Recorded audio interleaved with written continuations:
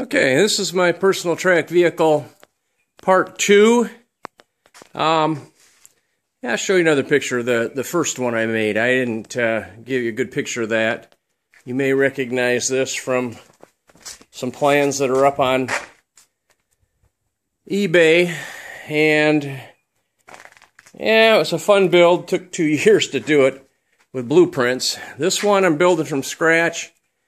And I'm doing a little bit different. Most of these guys look like, this is a stand-up model, by the way. This is going to be a stand-up. And they seem to be tippy, either forward or back. And though the tracks are about the same um, size as those on the, the other uh, uh, personal track vehicle, I'm making it a little bit different so the weight will be easier and centered and it may not be so tippy.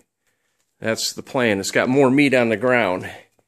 Put the uh, engine up on a stand a little bit, ran the jack shaft behind it, and I'm running my go-kart hubs here. Uh, they're going to be real close to the where the engine's at. And there's also a little keyway in there, a little half moon keyway right in there. And I'm going to run it close on both sides, unlike the others that run them out a little ways. So, main reason is that this uh, Peerless axle is not keyed all the way. It's only keyed part way here and then the little half moon there. But I think it, will be good enough to do that.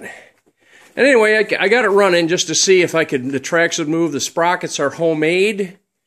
Um, and I'm going to try it right now just to see if we can get her running and show you what it looks like when it's actually for real. So hold on, it might be a little jumpy here.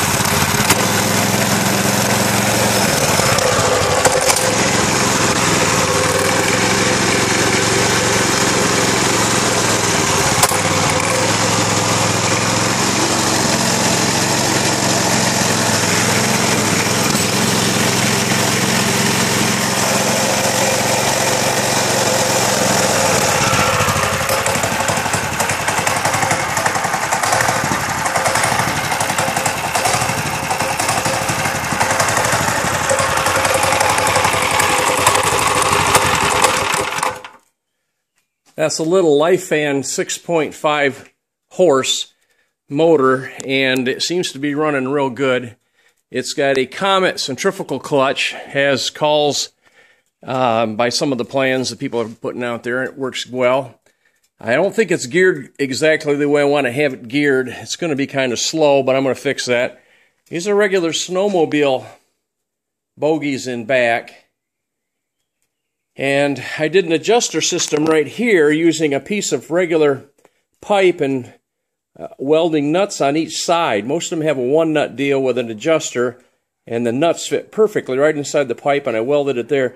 Again, this is all just, you know, it's a kind of a mock up. Everything's just barely tacked together because I wanted to make sure it would work. And then I'll um, work on a little bit better some of them have suspensions, like this one had a suspension uh, underneath here with a little, I put a little uh, uh, dirt bike bicycle shock on it for the shock on the, but this one having bogies on it, I'm actually going to have spring operated bogies. I'm not going to have that kind of a place to stand on the back. And these are the bogies I'm building right here and they're simply snowmobile uh, bogies.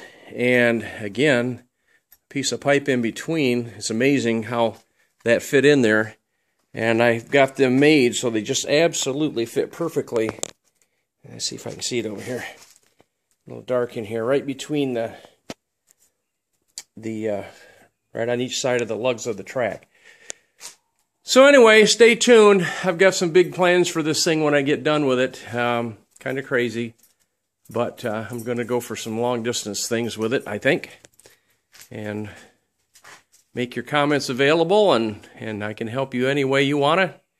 I wish there was somebody to help me when I was trying to do this. All right. We'll see you later.